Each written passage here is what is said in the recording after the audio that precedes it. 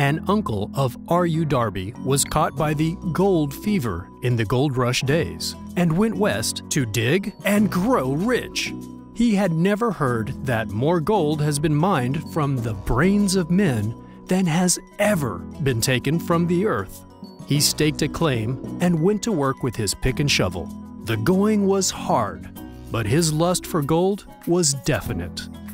After weeks of labor, he was rewarded by the discovery of the shining ore. He needed machinery to bring the ore to the surface.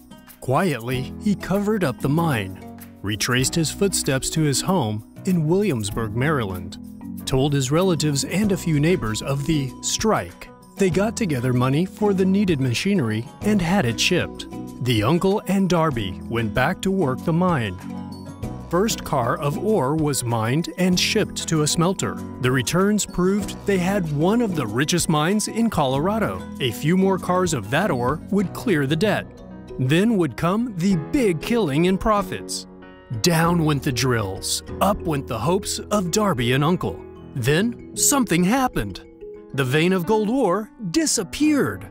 They had come to the end of the rainbow, and the pot of gold was no longer there.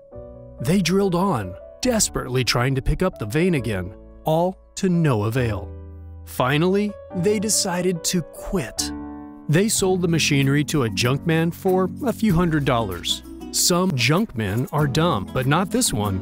He called in a mining engineer to look at the mine and do a little calculating. The engineer advised the project had failed because the owners were not familiar with fault lines. His calculations showed that the vein would be found just three feet from where the Darbys had stopped drilling. That is exactly where it was found. The junkman took millions of dollars in ore from the mine because he knew enough to seek expert counsel before giving up.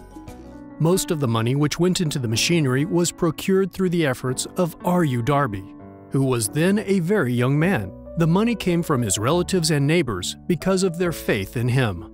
He paid back every dollar of it, although he was years in doing so. Long afterward, Mr. Darby recouped his loss many times over when he made the discovery that desire can be transmuted into gold.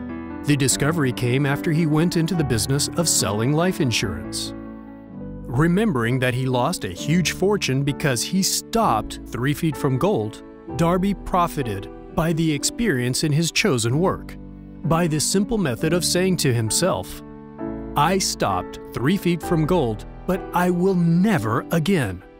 No matter how many say no, I will convince them to buy insurance.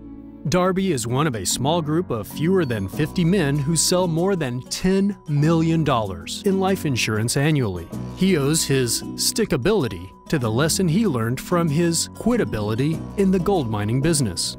Before success comes in any man's life, he is sure to meet with temporary defeat. When defeat overtakes a man, the easiest, most logical thing to do is to quit that is exactly what the majority of men do. More than 500 of the most successful men this country has ever known told the author their greatest success came just one step beyond the point at which defeat had overtaken them. Failure is a trickster with a keen sense of irony and cunning. It takes great delight in tripping one when success is almost within reach.